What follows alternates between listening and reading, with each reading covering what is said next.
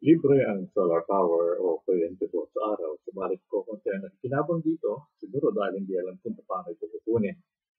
Sa mga gusto pong gumamit ng solar power na walang idea kung paano ito kukunin o kung paano magkabit ng solar panels, narito po ang pinakasimpleng paraan.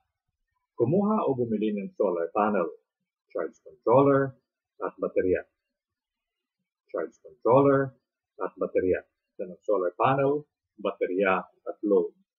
Siguraduhin na ikabit ang positive wire ng solar panel sa positive na kabitan sa charge controller. Ang negative wire ay ikabit sa negative na kabitan. Ang positive at negative terminals ay may kaukulang mga palatandaan.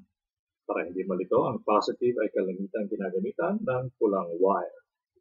Ikabit ang positive terminal ng battery sa positive na tornilyo ng controller at ang negative terminal sa negative na tornilyo sa controller.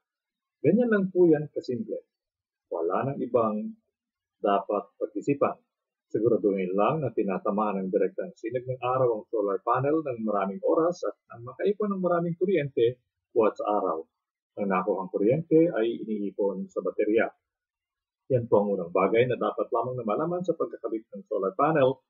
Ang pangalawa ay kung paano ito gagamitin at yun po ang ating tatalakayin sa susunod na video.